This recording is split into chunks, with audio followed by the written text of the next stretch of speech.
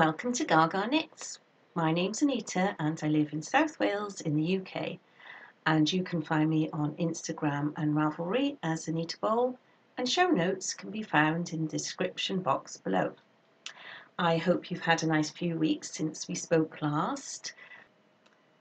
We've had quite a busy September in the Gaga household.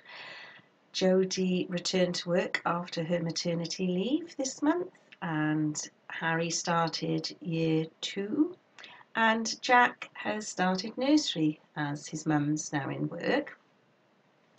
Jodie also celebrated her 30th birthday. My sister-in-law Janine had a birthday and I've also attended Malvern Show where I shall show you some photos of that at the end of this episode. I have some knitting to show you, some sewing and some acquisitions. Also the I need to draw for the winner of the Country Garden collection knitting patterns from Ellie of Craft House Magic and also I have a little DIY project that I finished also that I finished too. So let's get on with the knitting. At the moment, I am mainly, well, I am completely only knitting on my Bonny sweater from Kim Hargreaves because I want to get this finished because I have another project I need to do ready for Christmas jumper day. So I have now finished the front and back of the sweater and um, they're both exactly the same just got a little bit of moss stitch at the bottom and then you knit all the way up and you have this nice eyelet detail on the um, decreases and um, and that's that really. I'm working on the sleeve. I've just got a couple more rows to do, one more increase and then I think I need to knit up straight a little way and then do the decreases don't know if you can see here the line here. I did have a bit of a problem with one of the balls of yarn in that it went very thick and thin. Now it only seems to have happened with one ball but I cut the pieces out to show you.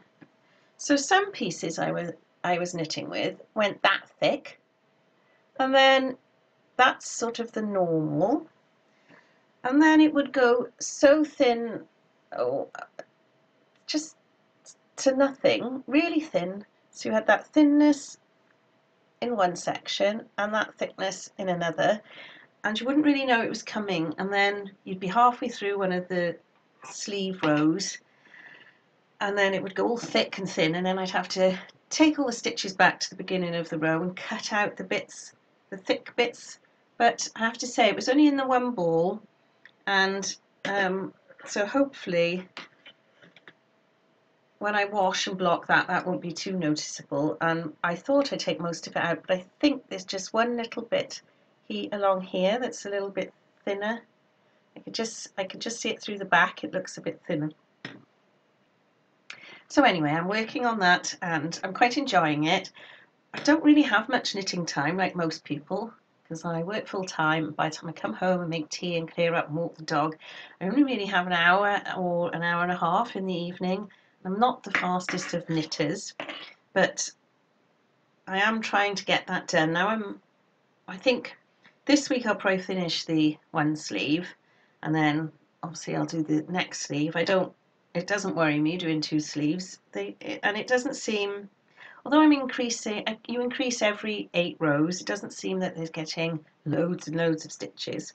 So hopefully I'll have that finished in the next few weeks so I can get start on my Christmas jumper.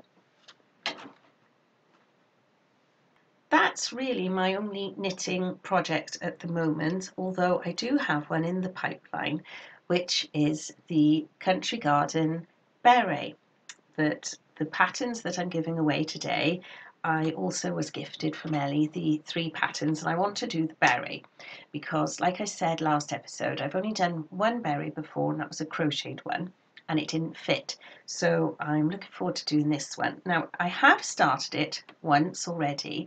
Um, I think it's okay to say because it's a paid for pattern, but you have to do a provisional crochet cast on and I've not done that before so I had to look that up and then I was going to use this yarn it's a bit hard to show it's a bit of a dark day today this yarn uh, which is Cartreff yarn in the colourway Glow um, and I started knitting with it but I think it's a bit too rustic for a beret next to my head like I was saying last time I don't like anything on my forehead that's scratchy I think this is a bit too robust. I think this would be really nice for mittens, but not necessarily a beret. So I had started on this, but I, I pulled it all back and I purchased a skein of Ellie's yarn. And this is and this is the Dress You Up colorway and it's DK. Also, this is DK and it's this thick and the Cartreff yarn is also listed as DK. See if I can put them together on my finger. And the Cartreff yarn does look quite a lot thicker than, than this one, so um, I definitely have to swatch for anything I make with the Cartreff yarn.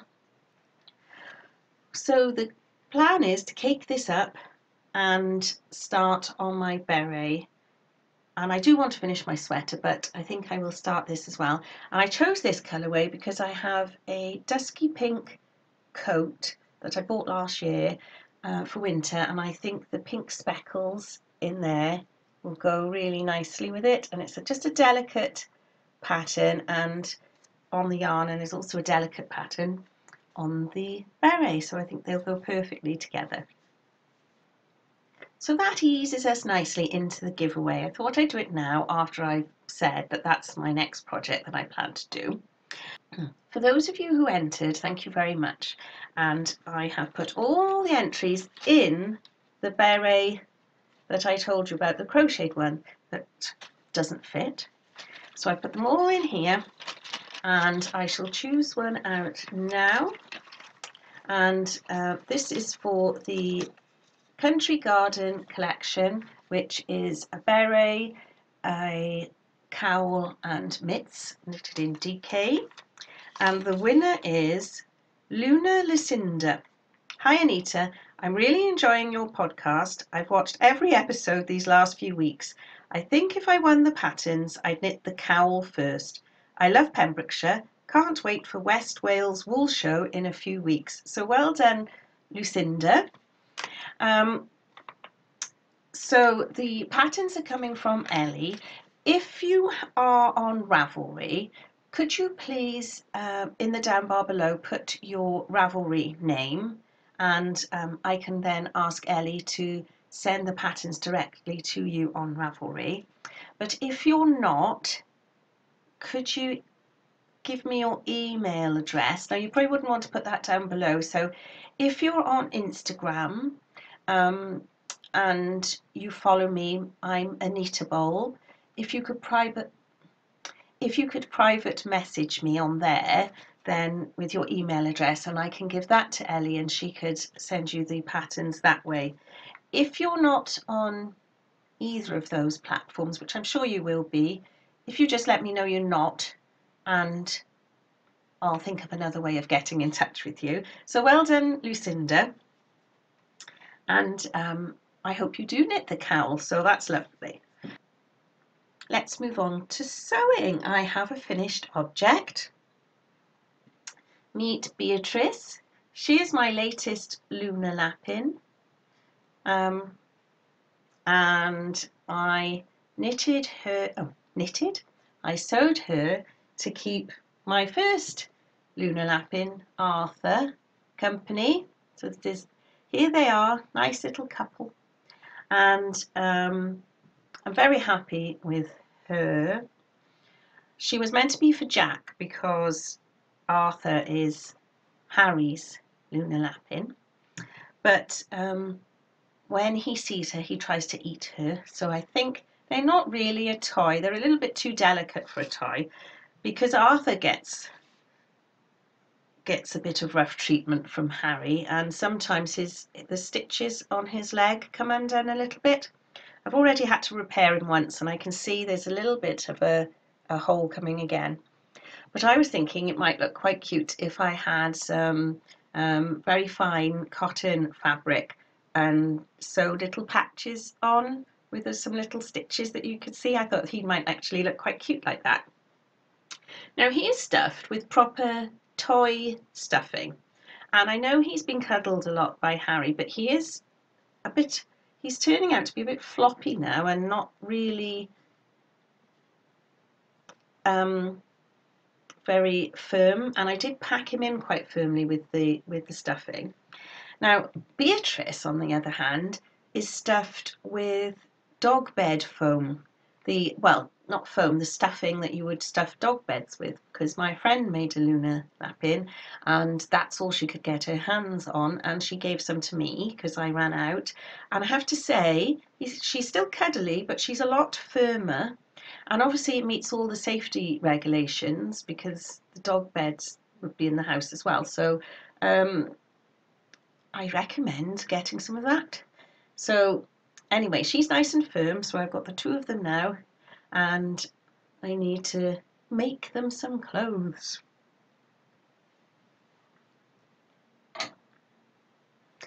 My next sewing project is what I'm wearing. Now this I have refashioned because I originally made it as this pattern, the Kwik Sew K3954 and I did that version but with long sleeves um, and it's a really nice pattern. It's nice and easy to sew up, but it didn't suit me at all. The neck was too gapey and because it's just a swing top and I'm pear shaped, it wasn't good. And I made it in March and I haven't worn it at all. So I was trying to think what I could do with it because I really like the fabric. I got the fabric from Fabrics Galore when I went to the NEC in Birmingham last November for craft show. And um, I was a bit disappointed that I wouldn't be wearing it so I decided I would try and mix it up a bit. So I got the pattern pieces out for the Frankie baseball t-shirt from Tilly and the Buttons and I tried to um, reshape the neckline a little bit. I liked the sleeves so I kept those but I used the side seams of the Frankie to shape the um, top a little bit better. And then, I'll just stand back a bit further. I then try to do the curve of the baseball top. So it's not ideal. I'm sorry I've got my old jogging bottoms on. Been out walking Charlie this morning. Um, and this neck is a little bit square. Actually, if I put, wear it the top the other way round, this bit fits very nicely on my back, but it's, it's too low. So um, I did, I didn't do the Frankie ribbed neckline. I did the neckline the same as it showed you in here with some bias binding. I put the bias binding round, but unfortunately the join of the bias binding is in the front. But it doesn't matter. Um, I mean, it's just a bit of a botch job, but I will wear this and it's quite cosy and um, at least I'm going to wear it and I wouldn't have worn it if I'd left it as the other top and I didn't know anyone who it would fit nicely either so I would have given it away but I refashioned it instead so I'm quite pleased with myself for that because I will wear this one now.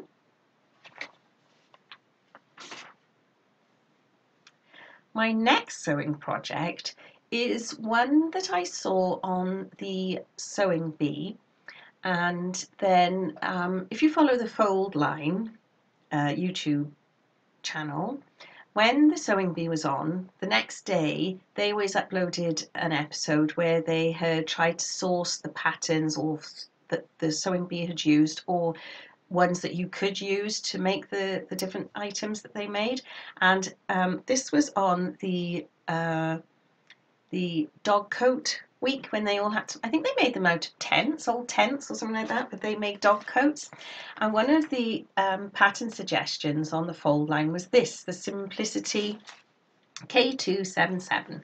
And I'm going to do um, this version 10, which for, for Charlie, because she's an old English sheepdog, and I thought that was really cute. And you never get dog coats for big dogs. They're always for little dogs, and I know lots of people don't think you should put coats and things on on dogs, and then lots of people do. So I mean, obviously it's personal choice, but I thought that would be nice because if you've been following along with this channel for a while, you know that Charlie has got arthritis and her legs are bad, and we do try to keep her coat quite short, uh, just for practicality. And um, I just thought it would be nice to make her a coat, and so I picked this pattern up recently because it was in the Sew Essential sale. They had 20% off all their Simplicity patterns. So I saw that as a sign that I should buy it. So I bought the pattern and that came really quickly.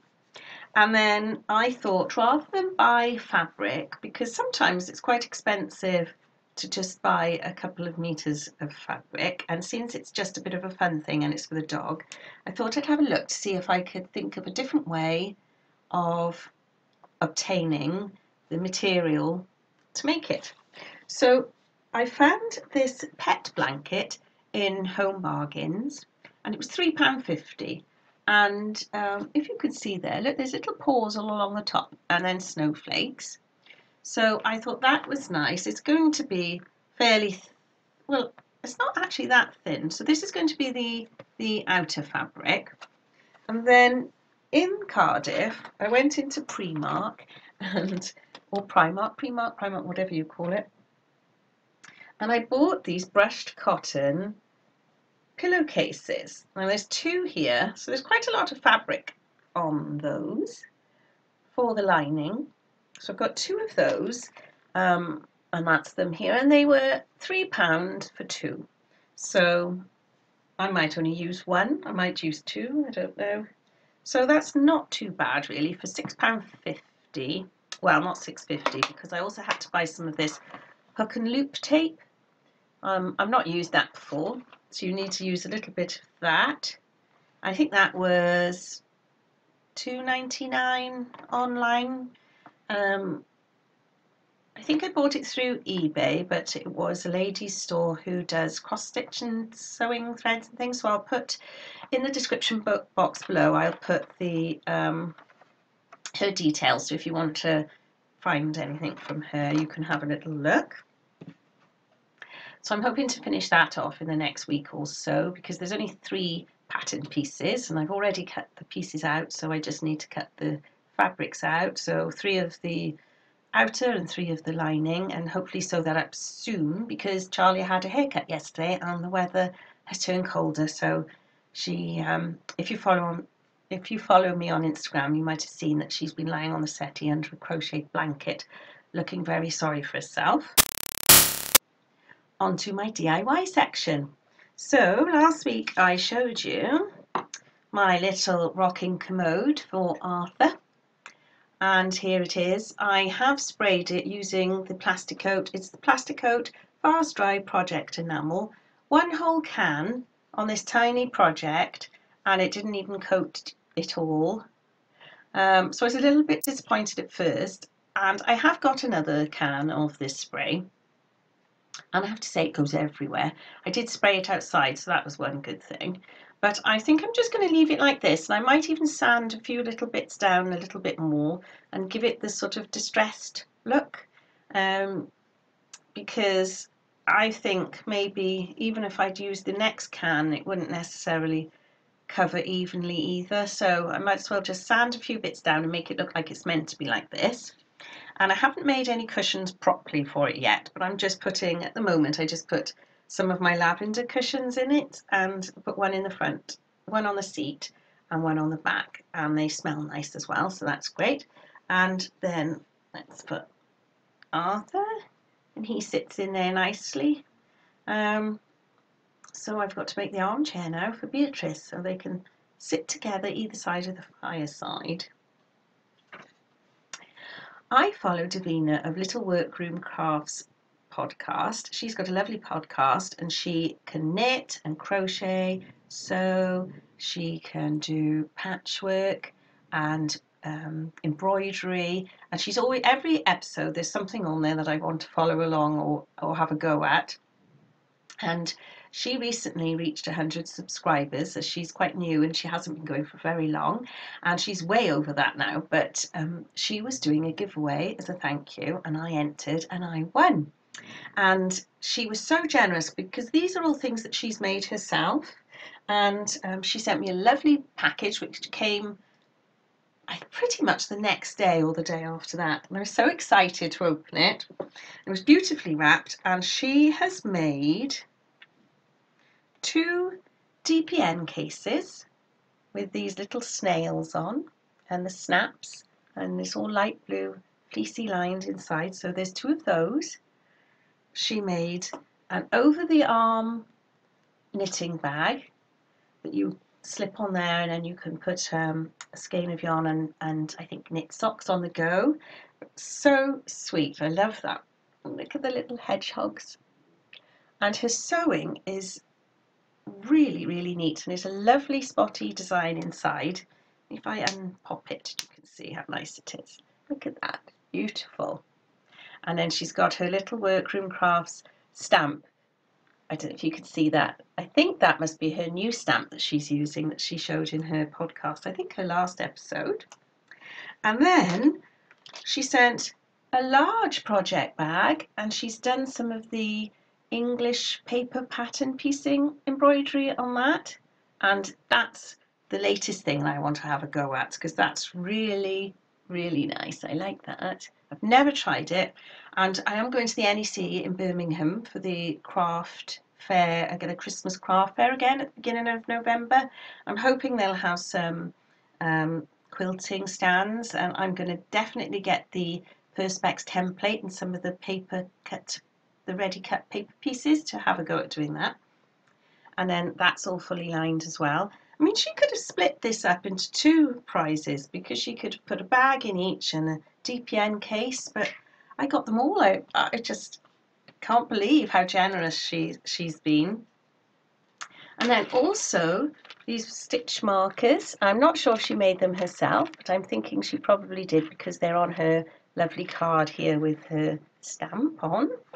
And she also gave me some chocolates, which I've eaten, and some tea bags, some herbal teas, which I have given to my friend. I took, we, um, two of my friends come over my house on a Thursday evening. We have a bit of a craft club.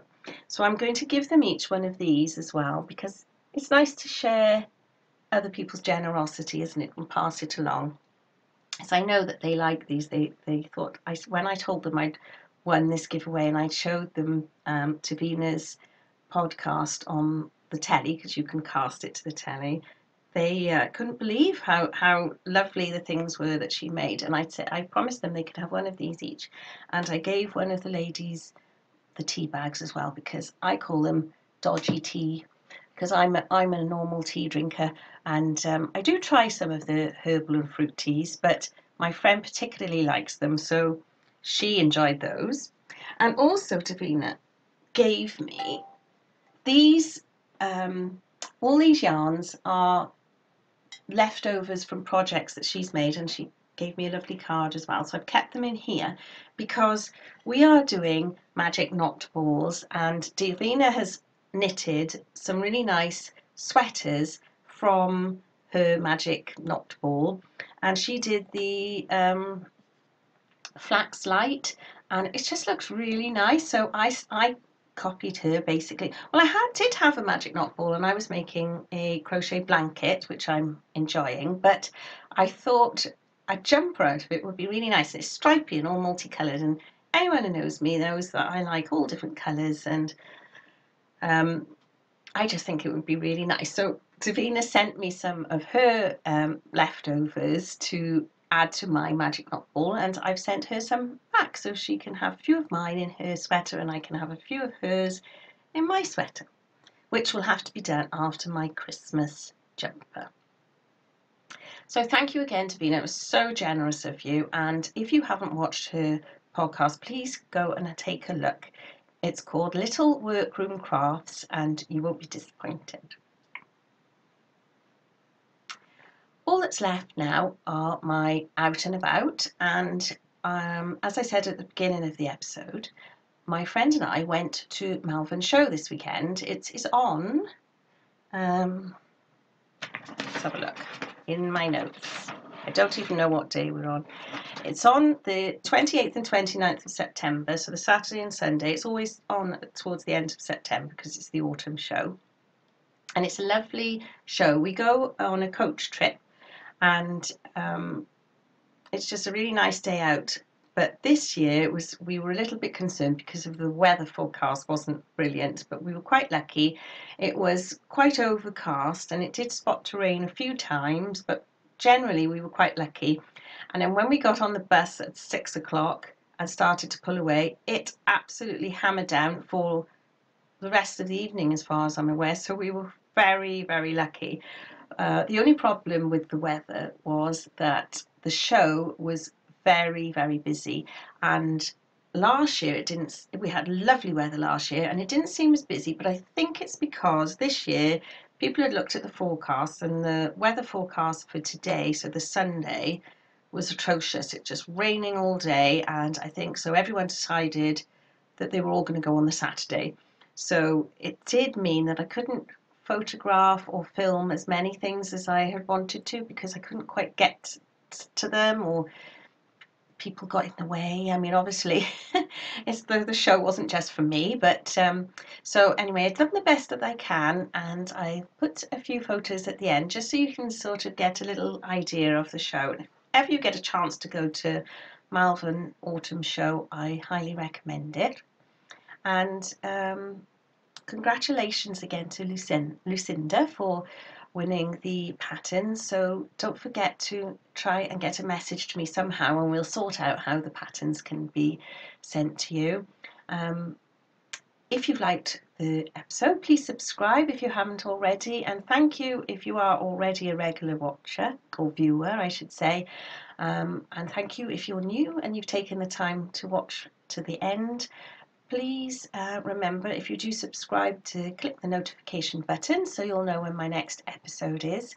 Um, take care and I shall see you all soon. At, well, I shall see you all hopefully at the end of October. Bye for now.